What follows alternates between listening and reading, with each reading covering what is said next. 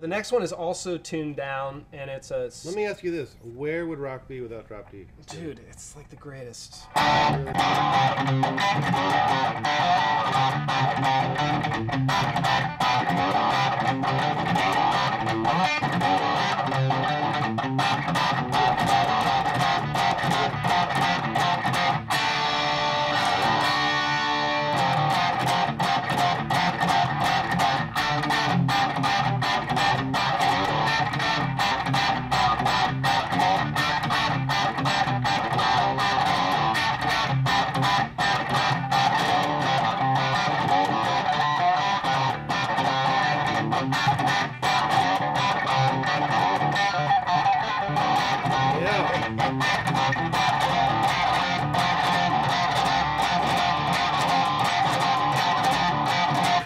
Kind of thing. So Yeah, you would have to sing.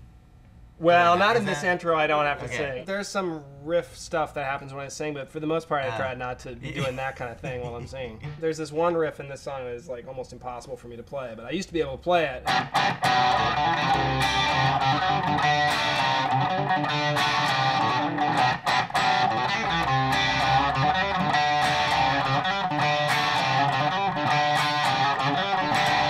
That I'm singing while I'm doing that, and that's No.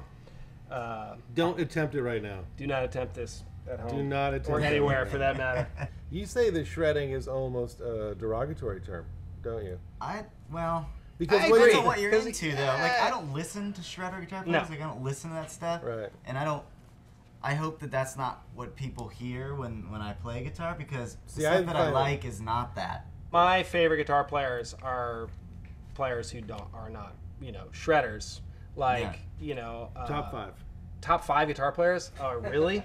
well, number mo- the one's got to be impossible. Jimi Hendrix. Number one's got to be Jimi Hendrix? Hendrix, for me.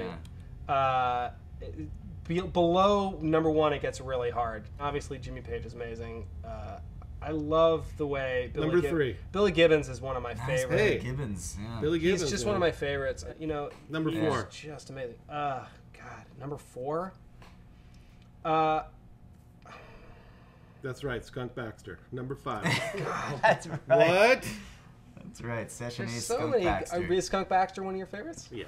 He's awesome. He's awesome, no question about it. And then But wait a Elliot, second. Elliot, Elliot Easton. oh my God, high five! Come on. Oh, that's incredible. Elliot, come on, you Dude. got to come on the show. You rule. Elliot yeah, Easton that's is some of the And tastiest just guitar the playing best you'll ever guitar hear. player. John, thanks for having you. Thanks for having being me. on the show. You guys- Guitarings will not be the same.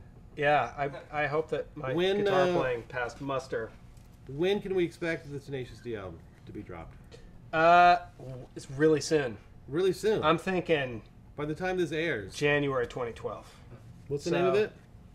The record, Yeah. I believe it's going to be called Rise of the Phoenix.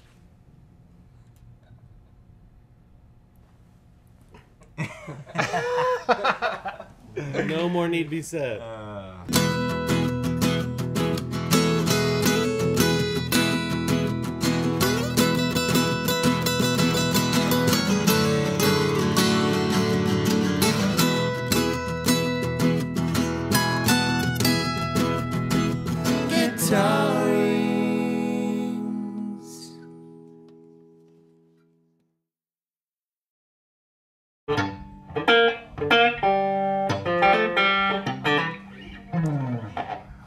Guitaring's devotees.